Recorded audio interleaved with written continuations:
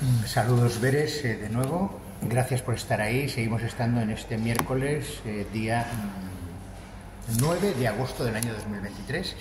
Y ahora les vamos a ofrecer una otra palabra maravillosa, más que una palabra, es, es una señal grandiosa de Dios Todopoderoso, que nos la transmitió justo cuando estábamos descendiendo de la montaña.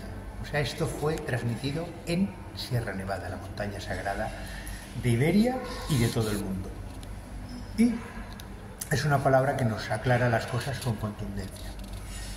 Íbamos conversando, no sé cómo salió, el caso es que vimos unos letreros que, había por allí de cómo se llamaban las pistas de esquí, eran nombres muy interesantes, una se llamaba Águila, otra Rebeco, otra ponía pista de damas, pista de hombres, muy interesante, ponía hombres, ¿eh? ponía pista de hombres, eso fue impresionante cuando lo leímos porque todavía, como son antiguas, pues eh, la gente que decidió, vamos, que tenía que poner los nombres en aquel momento, todavía, como pues, les reitero constantemente, sentían como hombres. No estaban amariconados, ¿no? Ni feminizados, sino que eran hombres y sentían sus cojones cada, en cada momento del día. No tenían que esperar a estar solos o hablar, sino que tomaban decisiones coherentes a su identidad, que es la identidad que nos ha llegado de Dios, de Dios B. Y hablando de Dios ve, pues miren, nos vino esta palabra. Empezamos a decir, oye, Lázaro, no sé por qué salió Lázaro. Y íbamos bajando, bajando, entonces yo digo, Lázaro, y entonces volví de nuevo a la L. Digo, claro, Lázaro, pero si es que aquí pones L, sería L, azar, y luego una O, ¿se dan cuenta qué bonito? Lázaro es Eleazar, eso es lo que significa, es lo que les estoy transmitiendo. Y es muy fácil, ya lo ven. Lázaro, la L es una L, o sea, son L, hay que escribir L, y azar es azar igual, L, azar, O y una O. Por lo tanto, azar y esa O lo que significa el coño de Maistato. Que salió del coño de Maistato, es lo que significa ese orificio, esa redondita. ¿Y por qué? Pues miren ustedes, es muy fácil. Porque ¿quién era Lázaro? Los que conocen la Biblia, que deberían ser la mayoría, aunque ya a las últimas generaciones ya ni siquiera leen la Biblia, pues entonces no saben ni siquiera las verdades que están manipuladas, que ya lo dice Alexander Lazar, está muy manipulada, pero siempre te ofrecen algo de la verdad y por lo tanto uno luego puede eh, discernir, ¿no? Entonces Eleazar dice, vamos a ver lo que nos dice la Wikipedia, esto fue la Wikipedia directamente, Eleazar, procede del hebreo el azar, que significa Dios es mi ayuda, y una variante de este nombre es Eliezer, ¿se dan cuenta? Como siempre dicen parte de la verdad dentro de su galimatías, porque tienen que decir la verdad de una manera o de otra. O sea, es, Dios es mi ayuda, fíjense qué increíble. Pero es que luego ellos mismos se contradicen, esto lo pueden buscar ustedes, miren, la palabra Lázaro, ahora ya vamos a Lázaro, en el diccionario normal, creo que de la Real Academia Española de la Lengua también dice significado de Lázaro, atiendan bien por favor pobre, mendigo o andrajoso. Ahí ya es cuando ellos dicen, es, yo lo califico así. ¿De acuerdo? Te han dicho la verdad por un lado, pero por la otra dicen, no, esto es lo que significa.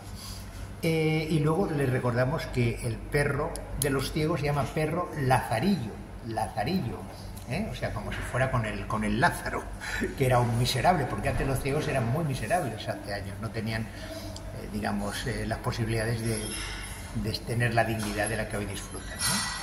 Eso es cierto. Bueno, pues esto en el, en el, diccionario lo degradan, como lo podemos ver. Sin embargo, ponemos Wikipedia, ponemos la misma palabra, lo mismo, Lázaro significado, igual. Y fíjense lo que dice. Nombre de origen hebreo que significa el ayudado por Dios. Vamos, yo creo que va a estar el agua. ¿no? ¿Quién le dictó la Bibele? ¡Ay, Jesús! ¿Quién le está mandando constantemente los mensajes? Pues Dios Todopoderoso dice el ayudado por Dios. Igualmente dice nombre de origen hebreo que significa el ayudado por Dios. O sea, imagínense cómo se están contradiciendo. Ya lo dice el refrán, antes se coge a un mentiroso que a un cojo. Y aquí, en estos detalles, cogemos a los mentirosos, cogemos las mentiras. Evidentemente es, la tarea es ardua.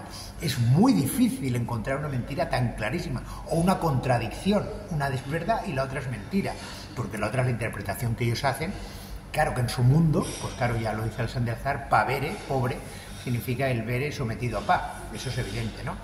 Pero, lógicamente, nosotros pues lo vemos como tiene que ser, con los ojos de Dios. Y luego, pues claro, ¿de, qué conocemos a Lázaro? Ahí decía lo de la Biblia, de la, de la famosa eh, parábola, digamos, de Lázaro, levántate. Lázaro era un ser que estaba muerto, Lázaro de Betania, y entonces le van a pedir ayuda a Jesús para que lo, eh, lo devuelva a la vida. Entonces Jesús va allí, el cuerpo estaba, y le dice, Lázaro, levántate. Y entonces resucita Lázaro. Eh, ¿Y quiénes estaban ahí? Pues estaban Marta y María, que eran las hermanas de Lázaro. ¿Por qué? Pues miren, todo esto es muy interesante, porque ese Lázaro significa el Luis, el Luis Alexandre en la nave, que estaba muerto, ya dijimos, estaba casi muerto, y es cuando Maestatu le extrae el semen. Por lo tanto, ¿qué nos está diciendo la parábola? Que efectivamente Lázaro volvió a nacer como Jesús, porque Jesús es el que resucitó. ¿A quién resucitó? Al semen. Le, le, volvió a la vida al, tomar el cuerpo eh, y existencia en esta tierra. Eso se dan cuenta qué bonito, como todo viene de la relación, es una maravilla, como va encajando todo. ¿Y por qué estaban María y Marta? que decía, aquí dice la parábola que eran hermanas y que eran de Betanie, de Betanie porque Betanie es donde él, ya lo hemos dicho, dejó todo su amor y todos los relatos se basan en Iberia, no en Judea, ni en Palestina, ni no sé dónde, no, no, todos los relatos están eh, centrados en Iberia, Entonces, ¿por qué Marta y María y no Margote? Pues porque María era su esposa y Marta era su prima, es decir, que eran, ahí lo han hecho con un vínculo eh, de sangre, con un vínculo genético como familia. En este caso no han añadido a, Margot, a María Magdalena, que en otras partes de la Biblia sí que están las tres. Pero en este caso no. Eso me da a entender a mí, humildemente, que el hecho de la... Em, cuando queda embarazada María, quien introduce el semen de Dios ve es Marta. Eso es lo que a mí en este caso, de manera individual, es como yo lo estoy sintiendo y así se lo transmito a todos ustedes.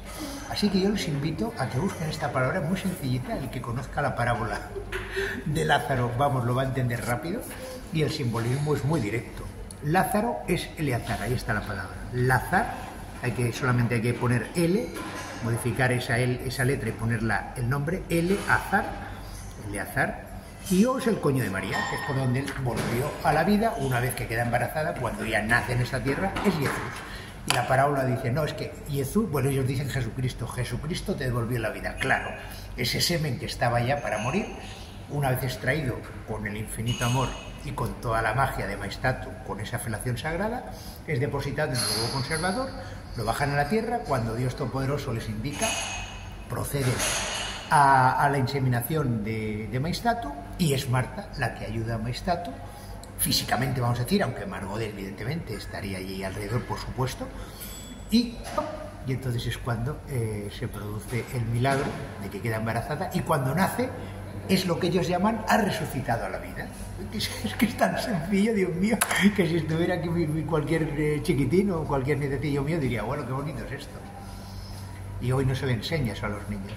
Se les hace, se les pega cosas en la, cara, hace que salten, que griten, que digan tonterías, que jueguen con muñecos de, de perros como si los perros tuvieran inteligencia, cuando lo más natural, todas las mamás y todos los papás que tenéis hijos, y ahora disculpad que os tutee, leedle la Biblia leerle la Biblia, porque si hay alguien en este mundo que entiende la Biblia directamente, es un chiquillo, una chiquilla, un chiquitín, una chiquitina de 5, 6, 7, 8 años.